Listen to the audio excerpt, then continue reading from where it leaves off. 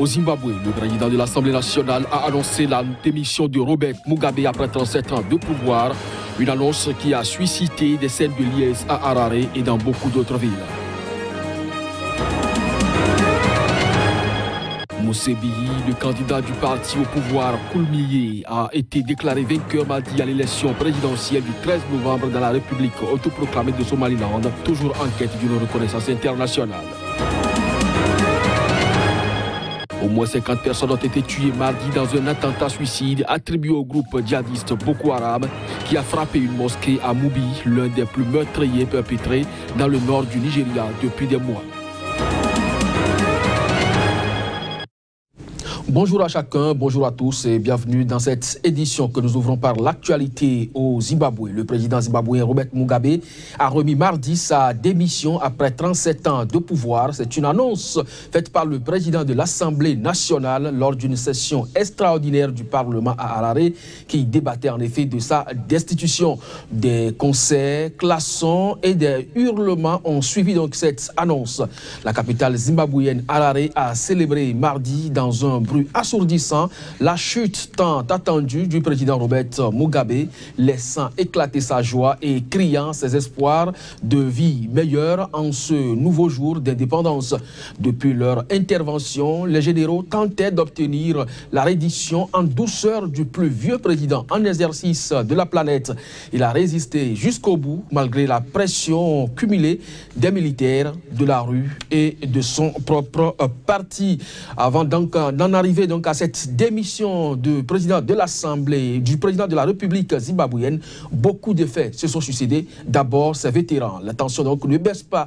Guerre au Zimbabwe, les très influents anciens combattants enfoncent donc le clou de leur côté. Les vétérans ont appelé mardi la population à manifester pour faire tomber immédiatement le président Robert Mugabe. On suit le point à travers ce reportage. Initialement prévue pour ce mercredi, la manifestation a été avancée à mardi.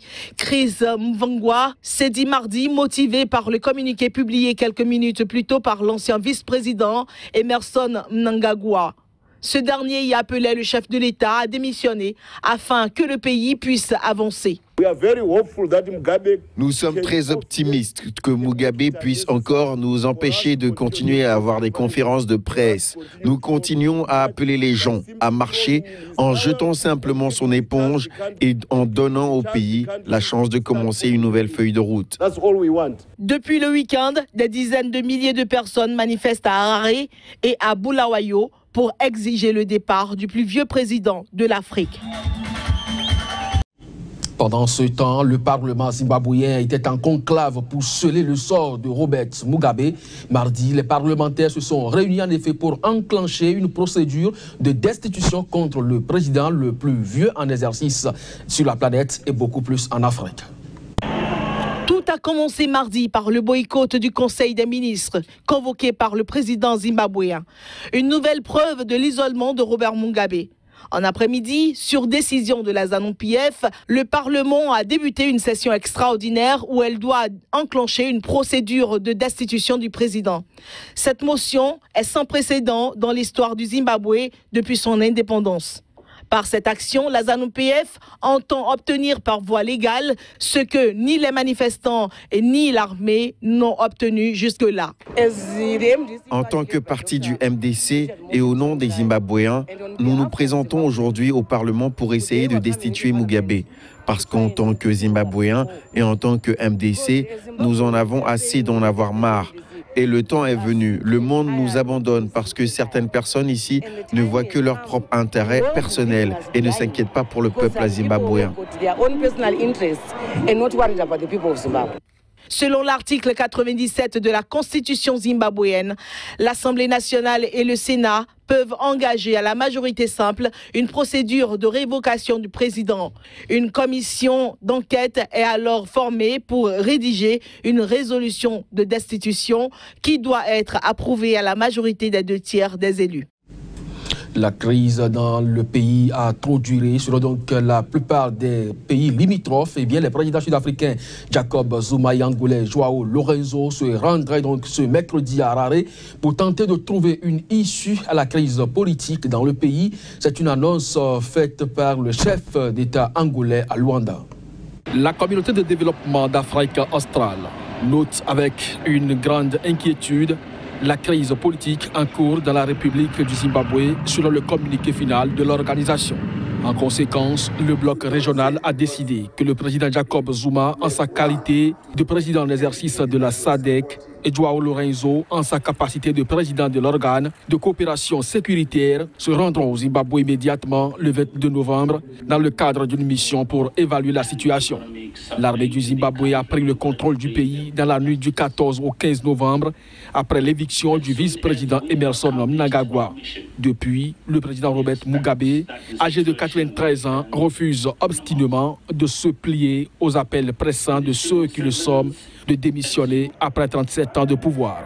À la demande du parti au pouvoir, la ZANU-PF, le Parlement zimbabwéen était réuni mardi en session extraordinaire pour enclencher une procédure visant à destituer le chef de l'État. Nouvelle preuve de son isolement, la plupart des membres du gouvernement ont snobé le Conseil des ministres convoqué mardi matin par le président selon le quotidien d'État de Herald.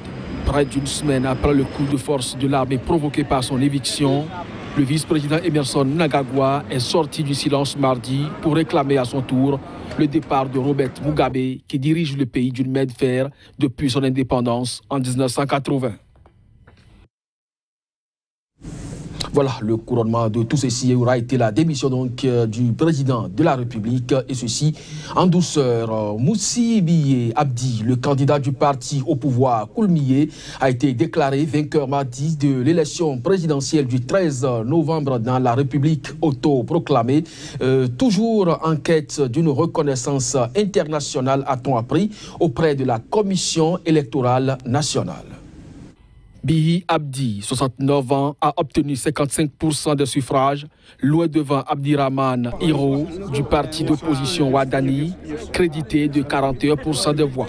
Le troisième candidat en lice, Faisal Ali Warab, qui avait déjà tenté sa chance lors de la dernière présidentielle en 2010, obtient un peu plus de 4% des voix. Les opérations de dépouillement sont terminées et le candidat du parti Koulmiye, Moussebi Abdi, a remporté l'élection et sera le président, a déclaré à la presse le président de la commission électorale, Abdi Kadir Iman Warsame. Bihi Abdi, 69 ans, officier à la retraite de l'armée de l'air et ancien ministre de l'Intérieur, est un personnage bien connu du public au Somaliland. Il préside le parti Paix, Unité et Développement depuis 2010. Il succédera au président Ahmed Mohamed Slamagno, qui ne s'est pas représenté. Les quelques 4 millions d'habitants de cette république semi-désertique, stratégiquement située sur le golfe d'Aden, espèrent que cette troisième élection démocratique depuis la déclaration d'indépendance du reste de la Somalie en 1991 renforcera leur quête de reconnaissance internationale. En effet, cette élection présidentielle a été organisée avec des garanties démocratiques dont aucun autre pays ne peut se prévaloir dans cette région agitée de la Corne de l'Afrique. Mais bien que stable et pacifié depuis plus de 25 ans, le Somaliland n'a jamais été reconnu par la communauté internationale en cause la règle sacro-sainte de l'intangibilité des frontières en Afrique laquelle a pourtant été transgressée lors de la création du Soudan du Sud en 2011. Attentat suicide contre une mosquée de Moubi au nord-est du Nigeria. Cette attaque, une des plus meurtrières depuis des mois, est attribuée au groupe djihadiste Boko Haram. Au moins 50 personnes ont été tuées. L'explosion s'est produite alors que se tenaient les prières du matin à la mosquée Madina de Moubi dans une ville frontalière du Cameroun. C'est à environ 200 km au nord de la capitale de l'état de l'Adamawa. Au moins 50 morts et plusieurs blessés en ont résulté d'après le porte-parole de la police de l'Adamawa, Otman Aboubakar. Les blessés ont été transférés vers les hôpitaux de la région pour être soignés en urgence. C'est l'attentat le plus meurtrier perpétré dans la région du Nord-Est depuis une embuscade tendue en juillet contre un convoi transportant les membres d'une mission de prospection pétrolière dans l'état voisin du Borno qui avait fait 70 morts.